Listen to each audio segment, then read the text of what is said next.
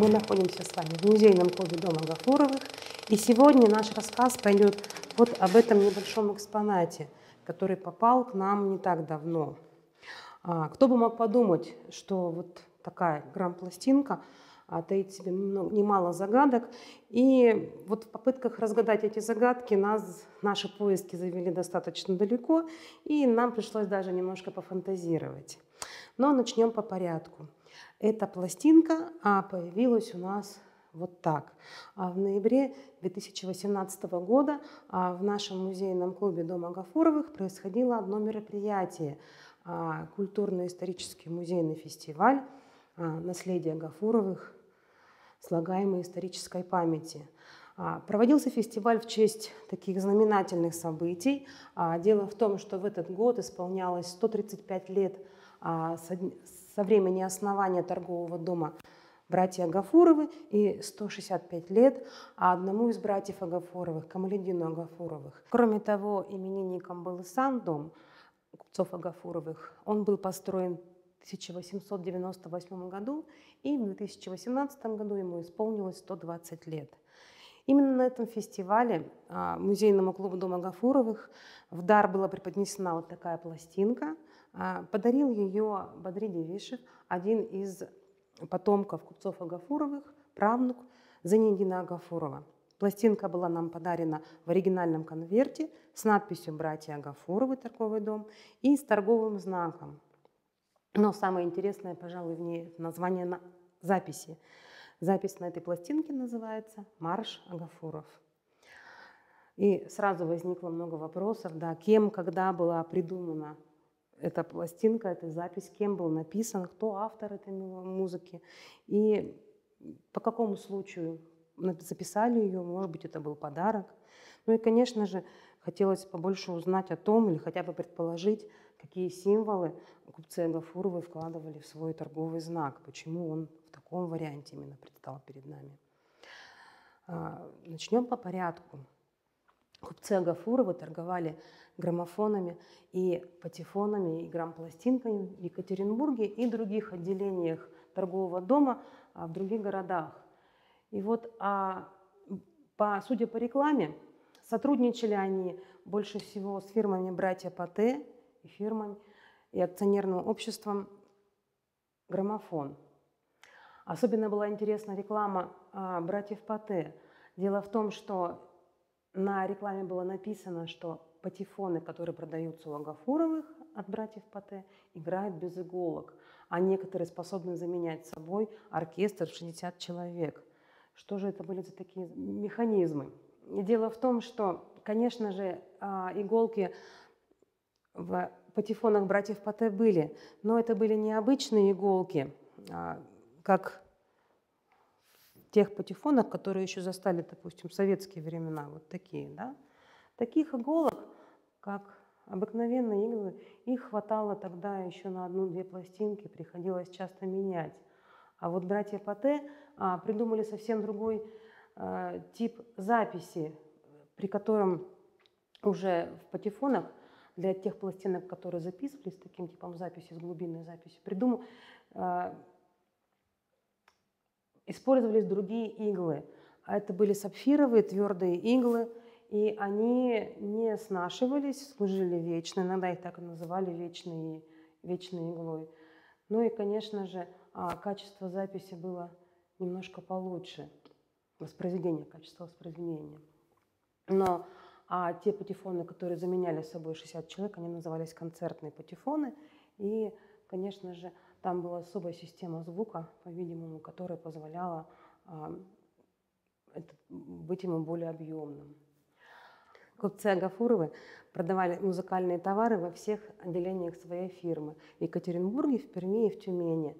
Торговали ли они музыкальными товарами на Ирбитской ярмарке, мы точно не знаем. Но во всяком случае реклама такая была.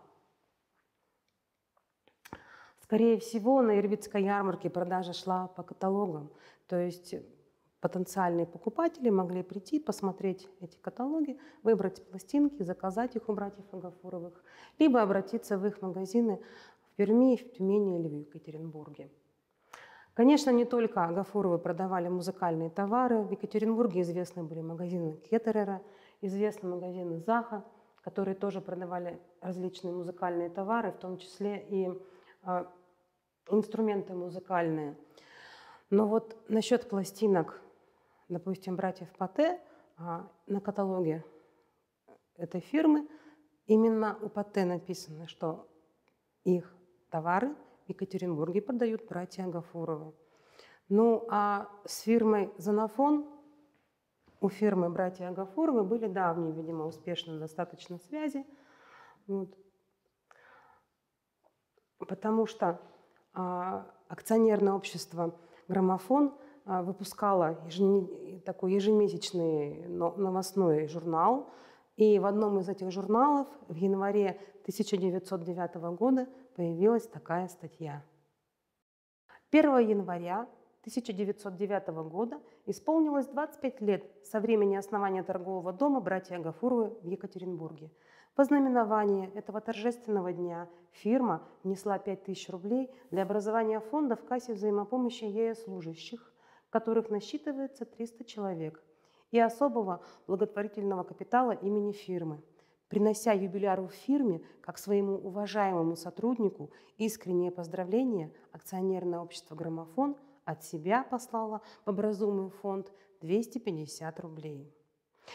Ну а теперь пришло время прослушать грампластинку и поговорить об авторе марша Агафуров по имени Касау.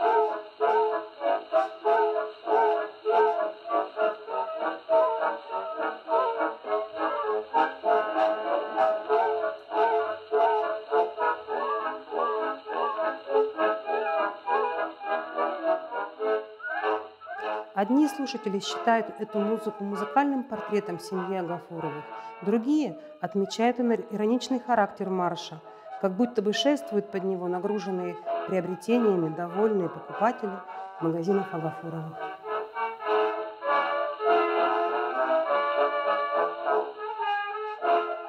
Кто же этот таинственный автор грамзаписи Марша Гафуров? По некоторым сведениям, им мог являться Отто Карлович Кассау, который в 1905-1910 годах а, был капельмейстером оркестра общественного собрания в Екатеринбурге. Родом он был из Германии, там же получил музыкальное образование. И во время своей работы в качестве капельмейстера в оркестре общественного собрания не раз радовал слушателей собственными сочинениями. Возможно, что именно в Екатеринбурге Агафуровы познакомились с Касау или смогли заказать ему свой марш, или кто-то из молодых родственников придумал такой подарок, может быть, это были партнеры по бизнесу.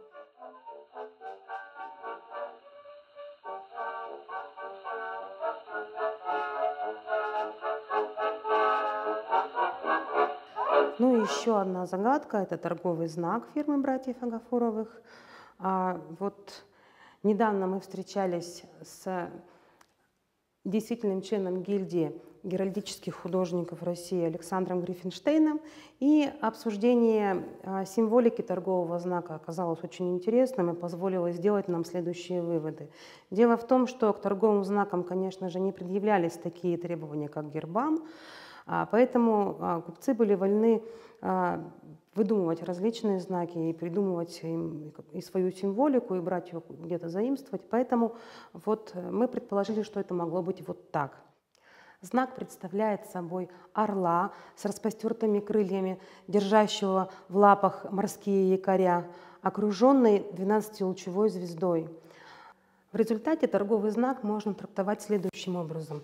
Торговый дом, ведущий торговлю от моря до моря, торгующий заморскими товарами отличного качества и являющийся надежным партнером. Вот так небольшой экспонат имеет вот столько тайн. На самом деле вопросов стало еще больше, но это и вызывает самый большой интерес в этом объекте.